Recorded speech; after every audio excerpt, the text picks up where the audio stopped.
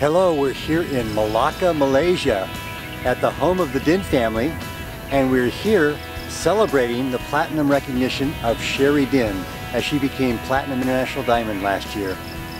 It's brought back some great memories for me to be here as some 10 years ago I first met Sherry as she came to Salt Lake City to learn more about 4Life.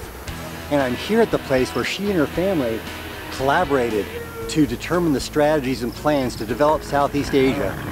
Welcome. So good to see you. Thank you so much. Welcome to Malacca. Thank you. Welcome to Malacca. Thank you. See you.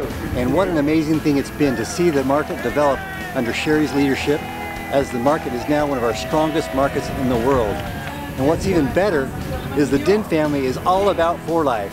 Sherry and her brother Sadiq are both Platinum International Diamonds, the only siblings in the world who are both Platinum International Diamonds.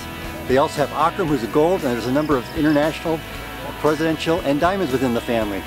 It's been incredible to be able to share some time with Sherry. Last night we went to a dinner with her family where we celebrated her recognition of being Platinum International Diamond.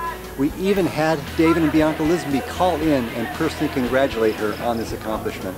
It's been an amazing couple of days as we spent this time here in Malacca with Sherry and her family to celebrate her success in becoming a Platinum International Diamond. We congratulate Sherry, we congratulate her entire team for all they've done to help Sherry accomplished this goal. And it's amazing to see that after about 10 years, almost all of Southeast Asia is within Sherry's organization. Congratulations to the entire market for what you've done, and we wish you much success in the future.